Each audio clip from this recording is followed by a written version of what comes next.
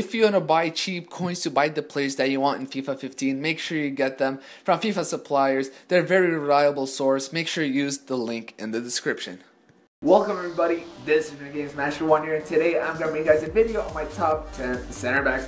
Unfortunately my brother dropped the ball and He's not at home at the moment, so I wasn't able to record the video, but I promise you guys a double upload, and a double upload you shall receive. So once what I want you guys to do now, get this video to 200 likes, and then comment below, tell me what's your top 10 center backs, top 5 center backs, or even when this video ends, tell me if I missed out someone, somebody should be post higher, and you guys commented, told me I forgot to put Sergio, and you guys are right. He deserves to be like at least number 5 spot on that list.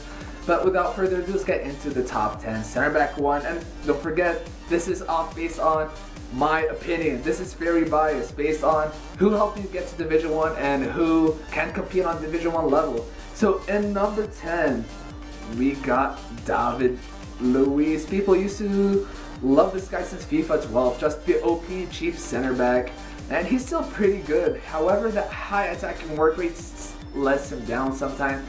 But he's fast, he's strong, he can dribble, he can pass, physical defending. If you know me, I love to pass with my center back, so really good. Six foot two, tall guy. It's just that media, that high attacking work rate kind of drops the ball. If he was medium work rate, medium attacking, and maybe high defensive, I would say he's up there, like top five. But you see there, 6,000 coins. He's pretty cheap, honestly. So that's for the number 10 spot. Number 9, we got the German that plays for Borussia Dortmund. It's Mats Hummels. This guy's going for 20k, which kind of surprised me. Usually FIFA players like pace, but again, this game is not based on pace. It's more of who's better at slide tackling, as in center backs. Hummels, actually, I use him, as you saw in my last video, I used him in 3-5-2, and he's still... I only conceded one goal against Walcott, Defoe, and Ashley Young. 66 pace, doesn't matter. He has 88 defending, he has crazy high uh, stand tack, I mean slide tackles and stand tackles, and heading's fantastic, and he's strong. He could pass well. He's six foot four, which is fucking awesome. However, that high attacking work rate also kind of keeps him down there, the number nine spot. Again, some of these players, if they had better work rates, they that's the difference between like a A and a B, between like an 88% or a 91%. So that's the number 9 position. Number 8. This guy, I find him to be kind of OP in this game, and it's Gary Cahill. I've used this guy in all my BPL squads, and this guy's fucking good. He's going for 7,000 at the moment, 81 rated center back. However, he's fast. He has amazing slide tackles, stand tackles. He's 6 foot 4, very good work rates. He's physical is physical as well, so I really don't see why a reason not to buy him, especially if you have a BPL team, can't afford Kompany, this guy is your guy.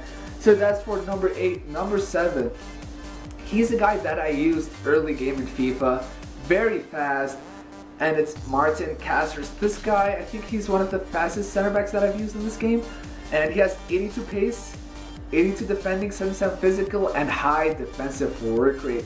I've used this guy in the 3-5-2 and oh my god, he, I, opponent's gonna score. Him and you're gonna see a couple of center backs. I have in the back, they couldn't score a goal on me. Caceres is your guy in the Serie A squad. Super fast. My, set, my number six spot, he kind of tied for number seven, but I really didn't know what to choose, and it's Andre Barzagli.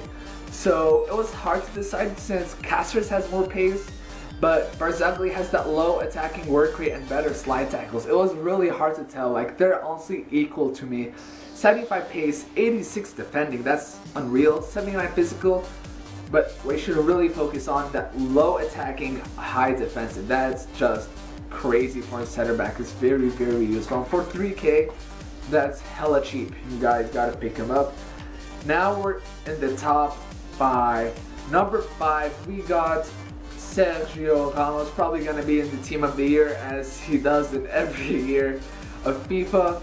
But again, he's just really good in the game, really good in real life too. It's just if he had medium attacking work rate, he would go for at least 200k, 300k. But nevertheless, he has 79 pace, 87 defending, 82 physical, 71 passing. I love that shit.